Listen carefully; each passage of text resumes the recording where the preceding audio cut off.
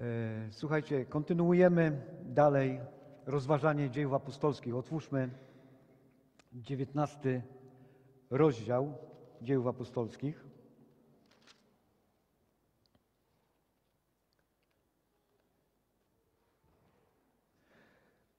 Będziemy kontynuować historię misji apostoła Pawła. Kazanie dzisiejsze zatytułowałem Skutki zderzenia chrześcijaństwa z religią pogańską. Krótki kontekst tego fragmentu. W osi- W 18 rozdziale czytaliśmy o tym, jak Paweł dotarł do Koryntu, po tym jak opuścił Ateny. W Koryncie widzimy, jak spotyka pewne małżeństwo. Był to Akwila i Pryscylla. Tam przebywa z nimi jakiś czas. Byli oni, jak wiemy, wytwórcami namiotów, tak jak i Paweł. Potem w Koryncie apostoł Paweł naucza Żydów i Greków, próbując im przedstawić świadectwa, że Jezus jest Chrystusem. Wielu Koryntian tam uwierzyło, pamiętamy. Paweł pozostał w Koryncie aż rok i sześć miesięcy i nauczał Bożego Słowa. Potem po jakimś czasie odpływa Paweł do Syrii. Zabrał ze sobą także Pryscylę i Akwilę. Przybywa do Efezu i tam w synagodze znowu naucza Żydów. Chcieli, żeby dłużej został, ale nie zgodził się. Odpływa z Efezu i przybywa do Cezarei. Potem wyrusza do Antiochii, jakiś czas tam zostaje, lecz później udaje się też w dalszą drogę yy, udaje się w dalszą drogę, przemierzając krainę galacką i Frygię. Wiemy, że robi to po to, aby utwierdzić zbory pogańskie, które tam sam założył. XIX rozdział zaczyna się tym, że apostoł Paweł znów przychodzi do Efezu i mówi uczniom, których tam spotyka, o Duchu Świętym, ponieważ oni jeszcze nie słyszeli wówczas o Duchu Świętym, że ktoś taki jest. Trzy miesiące chodzi Paweł do synagogi, prowadząc rozmowy, przekonując o Królestwie Bożym. Następnie naucza przez dwa lata, jak słyszeliśmy dwa tygodnie temu, w szkole Tyranosa. Mieszkańcy Azji, zarówno Żydzi, jak i Grecy, mogli wówczas usłyszeć Boże Słowo. Widzimy, że tam dzieją się liczne cuda przez apostoła Pawła. Ludzie zostają uzdrawiani.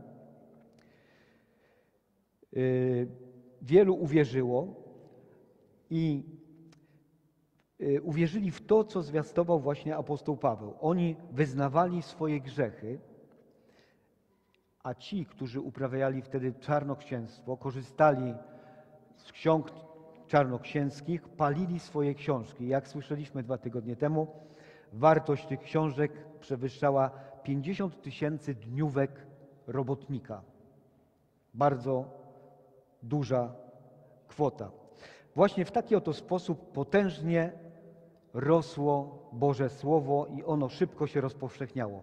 Apostoł Paweł poświęcił tam wiele czasu, aby nauczać. I skutkiem tego jego nauczania było to, że tamtejsi wytwórcy między innymi książek splajtowali. Stracili zarobki, ponieważ ludzie nie chcieli już kupować tych ksiąg z zaklęciami czarodziejskimi, z różnymi wróżbami. Dzisiaj natomiast e, zobaczymy, jak inna dziedzina gospodarki efeskiej załamie się ze względu na głoszone słowo prawdy. Przeczytajmy ten tekst od 21 wersetu. 19 rozdział, 21 werset. Po tych wydarzeniach postanowił Paweł za sprawą ducha udać się, do, e, e, udać się poprzez Macedonię i Achaję do Jerozolimy, mówiąc, potem, gdy tam będę, muszę Rzym zobaczyć. Wysłał więc do Macedonii dwóch pomocników swoich, Tymoteusza i Erasta, a sam pozostał przez czas jakiś w Azji. W owym czasie powstała niemała wrzawa z powodu drogi pańskiej, albowiem pewien złotnik imieniem Demetriusz, który wyrabiał srebrne świątynki Artemidy i zapewniał rzemieślnikom niemały zarobek, zebrał ich oraz robotników podobnego rzemiosła i rzekł: Mężowie, wiecie, że z tego rzemiosła mamy nasz dobrobyt. Widzicie też i słyszycie, że ten Paweł nie tylko w Efezie, lecz nieomal w całej Azji namówił i zjednał sobie wiele ludzi, mówiąc, że nie bogami ci są, którzy są robieni rękami ludzkimi. Zagraża nam tedy niebezpieczeństwo, że nie tylko nasz zawód pójdzie w poniewierkę, lecz również świątynia wielkiej bogini Artemidy będzie poczytana za nic i że ta, którą czci cała Azja i świat cały, może być odarta z majestatu. A gdy to usłyszeli, unieśli się gniewem i krzyczeli, mówiąc: Wielka jest Artemida Efeska. I napełniło się miasto wrzawą, i ruszyli gromadnie do teatru, porwawszy z sobą Gajusa i Arystarcha, Macedończyków, towarzyszów Pawła. Gdy zaś Paweł chciał wyjść do ludu, nie pozwolili mu uczniowie. Nawet niektórzy życzliwi mu przedstawiciele władzy posłali do niego i prosili, żeby się już nie udawał do teatru. Tymczasem jedni to, drudzy owo wykrzykiwali, bo zebranie odbywało się w nieładzie, a większa część nawet nie wiedziała, z jakiego powodu się zebrali. Wypchnięto z tłum Aleksandra, którego Żydzi wysunęli do przodu. Aleksander zaś skinąwszy ręką chciał się bronić przed ludem, lecz gdy poznali, że jest Żydem, rozległ się z ust wszystkich jeden krzyk, który trwał około dwóch godzin. Wielka jest Artemida Efeska. Gdy zaś pisarz miejski uspokoił tłum, rzekł mężowie efescy, któż z ludzi nie wie, że miasto Efes jest stróżem świątyni wielkiej Artemidy i posągu, który spadł z nieba. Skoro więc temu zaprzeczyć nie można, powinniście się uspokoić i niczego pochopnie nie czynić. Przywiedliście tu bowiem tych mężów, którzy nie są świętokradcami ani bluźniercami naszej bogini. Jeśli więc Demetriusz i członkowie jego cechu mają skargę przeciwko komu, to odbywają się sądy. Są też prokonsulowie. Niechże jedni drugich oskarżają. Jeżeli zaś chodzi o coś więcej, zostanie to załatwione na prawomocnym zgromadzeniu. Narażamy się bowiem na niebezpieczeństwo oskarżenia nas o dzisiejsze rozruchy, gdyż nie ma żadnej przyczyny, którą moglibyśmy usprawiedliwić to zbiegowisko. To powiedziawszy, rozwiązał zgromadzenie. A gdy rozruchy ustały, przywołał Paweł uczniów i napomniawszy ich, pożegnał się z nimi i ruszył w drogę do Macedonii. Oto ta historia. Łukasz na początku tutaj od 21 wersetu zamieszcza taką małą wzmiankę, dlaczego w owym czasie Paweł postanowił udać się do Jerozolimy. Paweł właśnie wtedy postanowił zrealizować bardzo ważne zadanie, jak wiemy, e, ponieważ chciał podkreślić przede wszystkim jedność Kościoła. To bardzo ważne zadanie. Wiedział, że zbór w Jerozolimie jest biedny, potrzebuje wsparcia, więc oczywiście szybko chciał zebrać jakąś ofiarę i podążyć z pomocą. O tej zbiórce czytamy też w pierwszym liście apostoła Pawła do Koryntian 16:1 i w liście do Rzymian 15, 25, 26. Tam jest mowa o tym właśnie, że Paweł miał zamiar wspomóc zbór w Jerozolimie. Paweł kierował się dwoma celami, do których chciał właśnie, dla których chciał właśnie to zrobić. Przede wszystkim, po pierwsze, chciał w praktyczny sposób pokazać jedność Kościoła. Chciał, aby wierzący zrozumieli, że należą do jednego wielkiego ciała Jezusa Chrystusa. Chciał powiedzieć przez to, że jeśli jedna część ciała cierpi, cierpią pozostałe. I chciał wspomóc ich tym samym. Paweł widział Kościół jako całość, do którego należą poszczególne zbory, które składają się na ciało Chrystusa, Kościół. Po drugie, chciał ich nauczyć praktycznej chrześcijańskiej miłości. Słysząc o tym, że są w trudnej sytuacji materialnej w Jerozolimie, chciał pomóc braciom właśnie w taki praktyczny sposób, zbierając ofiarę na to. I trzeba jasno tutaj powiedzieć, że te obie podstawy są tak samo ważne również i w dzisiejszych czasach. Czytając dalej ten tekst, co nam się na, narzuca na samym początku? Wiemy, że nie ma tutaj jakiegoś religijnego sporu, ponieważ ta wrzawa, która powstała, powstała z czysto ekonomicznego faktu. Jak się przyjrzymy temu tekstowi, zauważymy, że nie chodzi tu o religijny spór. Demetriusz bowiem, który wyrabiał srebrne świątynki Artemidy, zapewniał rzemieślnikom niemały zarobek, czytamy. Zebrał więc robotników podobnego rzemiosła i dlatego między innymi powstała ta wrzawa.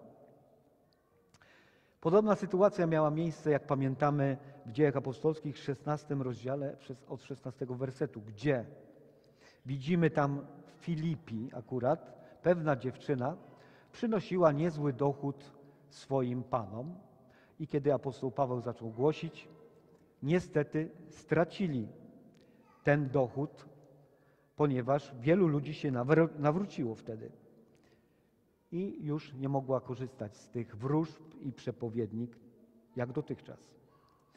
W dzisiejszym tutaj tekście sam szef firmy, jak czytamy, Demetriusz, złotnik z zawodu, zatrudniał wielu rzemieślników wykonujących właśnie te srebrne świątynki Artemidy Efeskiej. I człowiek ten niewątpliwie zauważył, że chrześcijaństwo, które w szybkim tempie się rozpowszechniało w tym czasie, zagroziło między innymi istnieniu tej jego fabryki, można powiedzieć, bo produkował to na wielką ilość. Dlatego zauważył też, że jest konieczność zareagowania na to, co się dzieje wokół Efezu i wokół tych ludzi.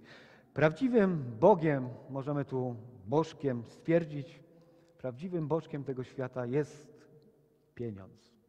I to, to się nie da ukryć w tamtych czasach i obecnie. Kto się z tym stwierdzeniem nie zgadza? Zgadzacie się, rozumiem. Widzicie też to, że w świecie tym, którym żyjemy, jednak to jest obecne.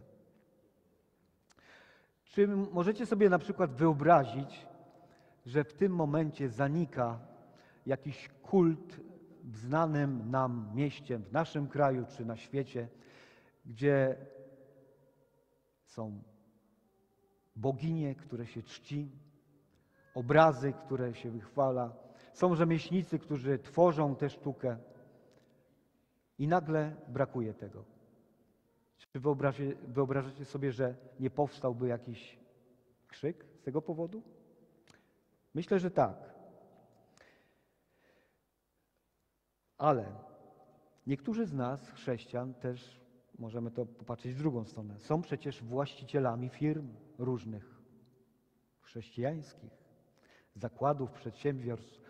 Wielu z nas jest też pracodawcami.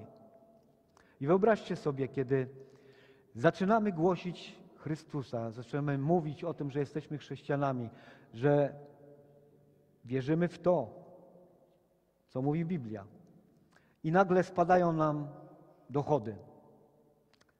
Spada nam możliwość sprzedawania tego, co produkujemy.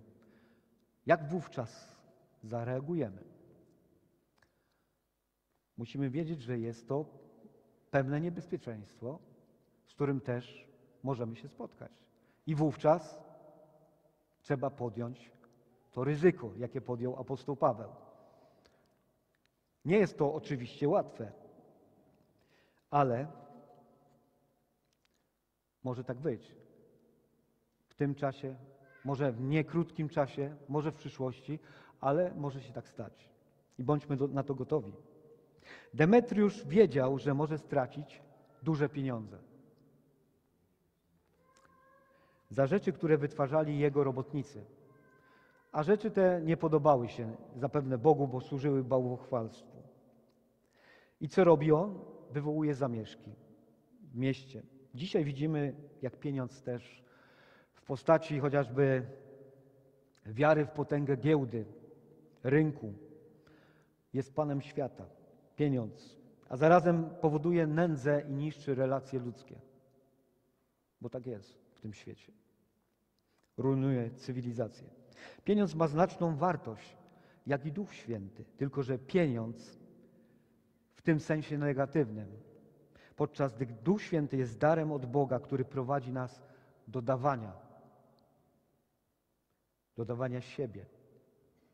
Pieniądz z kolei jest tą wartością, która prowadzi tylko do posiadania i destrukcji wszystkiego, co jest wokół. Poprzez miłość do pieniędzy podbijane są narody.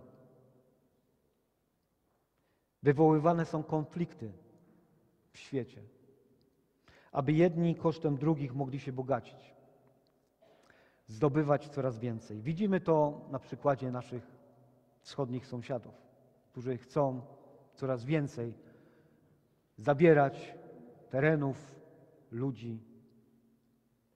I pieniądz tutaj jest głównym elementem tej, tej działalności. Oto powstają zamieszki. Zamieszki powstają, czytamy, z powodu drogi pańskiej. To znaczy z powodu Jezusa. Też z powodu tego, co apostoł Paweł głosi. Z powodu drogi. Jezus mówi w Ewangelii Jana, ja jestem droga, prawda i życie. Te właśnie zamieszki powstają w tym czasie, krótkim czasie po tym, jak są palone te księgi czarodziejskie. Jak w Efezie już się rozprzestrzenia Ewangelia. Tutaj Łukasz użył pewnej hiperboli, mówiąc cała Azja usłyszała. W tej sytuacji wiadomo, że chodzi o Efes i okoliczne miasta nadmorskie znajdujące się w tym sąsiedztwie. Widzimy, że pogaństwo, które posiadało wówczas ośrodek kultu, którym niewątpliwie był Efes i świątynię Artemidy Efeskiej, miejsce pielgrzymowania wielu ludzi, właśnie gdzie znajdowała się ta świątynia. Tak na, na marginesie ta świątynia była jedną z cudów starożytnego świata ogłoszoną. I tutaj widzimy niebezpieczeństwo, że ten interes nagle może upaść. Nagle może się wszystko skończyć. Ze względu na to, że ludzie nie chcą już parać się bałwochwalstwem. Nie chcą kupować świątynek, które wytwarza Demetriusz. Zatem wydaje się, że powstałe w Efezie zamieszki nie mają nic wspólnego z dyskusją na temat tego, czy Artemida jest wyższa od Jezusa, czy Jezus jest wyższy od Artemidy. Nie o to chodzi tutaj. Chodzi tutaj o utratę zysków. Zawsze, jeżeli nie wiadomo o co chodzi, to chodzi o pieniądze. Tak to jest w życiu. W 1 Tymoteusza 60 czytamy: Korzeniem wszelkiego zła jest miłość pieniędzy. A w Kolosan 3:5 apostoł Paweł dodaje: Porządliwość i chciwość, czyli chęć posiadania coraz więcej, jest prawdziwie bałwochwalstwem. W wersecie 29 tłum porywa ze sobą współpracowników apostoła Pawła. Czytamy Gajusa i Arystarcha, ruszając z nimi w stronę teatru. Teatr ówczesny to było miejsce, oczywiście nie wewnątrz, ale na zewnątrz, na powietrzu, gdzie mogło kilka tysięcy ludzi nawet zebrać się w tej sprawie. Przy tym chaosie, jaki panuje, wypychają naprzód jakiegoś człowieka o imieniu Aleksander. Prawdopodobnie mógł być to być, mógł być, to być chrześcijanin lub też członek wspólnoty żydowskiej, synagogi. Kiedy usłyszeli, że to Żyd, no to zaczęli krzyczeć: Wielka jest Artemida Efeska, czytamy. I tak krzyczą i krzyczą, trwa to dwie godziny. Wyobrażacie sobie dwie godziny krzyczeć? Jakbyśmy tu stali i zaczęli krzyczeć: Wielki jest Jezus! Dwie godziny. Dacie radę? Nie wiem, czy byście dali radę. Tamci też pewnie ochrypli, podejrzewam. Zaschło im w gardłach. Może krzyczeliby jeszcze, ale przerywa im miejski kronikarz, czytamy pisarz, który znalazł się tam, w tym miejscu, przerywa ten wielki krzyk. Uspokaja ich, mówiąc: Mężowie efescy, któż z ludzi nie wie, że miasto Efes jest stróżem świątyni Wielkiej Artemidy? Przecież wy wiecie wszyscy, że tak jest. I posągu, który spadł z nieba. Przecież wszyscy wiedzą i to oczywiste, że nie można temu zaprzeczyć. Trzeba uspokoić się nie robić wrzawy, nic pochopnego, spokój. Do tego ich zachęcił. Właśnie w taki podstępny trochę sposób. Ponieważ mówi, no tak, przecież to jest oczywiste. Artemida jest wielka, wiemy o tym. A po co to zrobił, jak myślicie?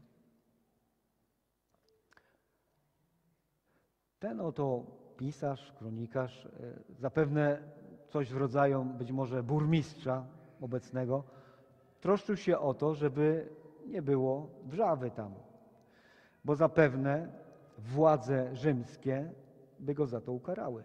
Więc w jego interesie było to, żeby spokój panował, żeby nie było rozruchów. I mówi, jeśli chodzi o coś więcej, to powinno być załatwione pra prawomocnie, tak jak to powinno być. Musimy wiedzieć, że Rzymianie w tamtym czasie tolerowali różne kulty i różne religie, ale jeśli był zakłócany spokój i porządek publiczny, wtedy nie mieli litości. Był to tak zwany Pax Romana, gdzie ludy podbite musiały zachowywać się spokojnie, utrzymywać stan pokoju. Zatem to zgromadzenie, które miało miejsce w teatrze, ryzykowało poniesieniem jakichś kosztów i surowych konsekwencji. W wersecie 40 czytamy, że narażamy się bowiem na niebezpieczeństwo oskarżania nas o dzisiejsze rozruchy, czytamy. Gdyż nie ma żadnej przyczyny, przyczyny którą moglibyśmy usprawiedliwić to zbiegowisko. I przez te, tymi słowami rozwiązuje to całe zbiegowisko. Trzeba dodać, że mowa w wersecie 35, że pisarz, inaczej można by go nazwać kanclerzem też, mm, różni interpretatorzy tekstu biblijnego mówią, że to był pisarz lub kanclerz, który był wybierany przez miasto i cieszył się wielkim poparciem tamtejszego ludu. On obserwował, co się dzieje wokół. To, co robił, jak mówiłem wcześniej, to robił to oczywiście było związane z jego osobistym interesem. Sam nie chciał narazić się na, na to, żeby władza Rzymu mu coś tam pokazała. Trzeba dodać, iż chrześcijanie nie byli tymi też, którzy bluźnili tak zwanym bogom w cudzysłowie, nie profanowali ich, ale stwierdzali jasno, że posągi, które są czynione, nie są Bogiem. Z tych wszystkich występujących w tym fragmencie osób widzimy, że tylko chrześcijanie i sam apostoł Paweł, nie patrząc na własne interesy i konsekwencje, jakie mogły ich spotkać, głoszą Jezusa, nie patrząc na niebezpieczeństwo. Są pewni swoich przekonań, tego co robią, bo wiedzą, komu służą. Nie boją się podpaść władzy. W tym fragmencie Łukasz używa tego obrazu w sytuacji, aby uwypuklić przede wszystkim pozytywną rolę tej wspólnoty chrześcijańskiej, jaka była w Efezie. Braci, którzy się tam zebrali. Ponieważ kiedy poganie swoimi rękami produkują miniaturki świątyni Artemidy Efeskiej, dla wzbogacenia się oczywiście. Paweł własnymi rękoma darmo uzdrawia ludzi. Tutaj należałoby przytoczyć fragment z Pisma Świętego: Darmo dostaliście, darmo dawajcie. Widzimy, że ówczesne chrześcijaństwo, czyniąc dobro, nie próbuje się wiązać z żadną władzą polityczną. Daje nam to pewną wskazówkę do tego, aby nie stać się w żadnym wypadku poplecznikami jakiejkolwiek władzy świeckiej, politycznej. Twardo stać na gruncie Ewangelii. I zdecydowanie przeciwstawiać się wszystkim przejawom bałwochwalstwa. Bez względu czasami na stratę. Możemy stracić wiele, ale bądźmy tymi, którzy służą Ewangelii, a nie własnym kieszeniom. Nauka, jaka płynie również z tego fragmentu, to to, że pieniądz nie jest zły sam w sobie. Rzeczy nie są złe same z siebie. Złe jest ich posiadanie i czynienie z nich bożka. Kiedy czynimy z pieniędzy, z rzeczy, które posiadamy, bożka, to jest źle. Prawdziwy problem tkwi w miłości pieniędzy i oddawaniu im kultu. Czyli robieniu tego, że staje się on obiektem uwielbienia i pożądania. Słowo Boże ostrzega nas dzisiaj właśnie przed takim postępowaniem, więc bądźmy czujni, jako ci, którzy wierzą Ewangelii i Słowu, które mamy w Biblii zapisanym. Badajmy nasze serca.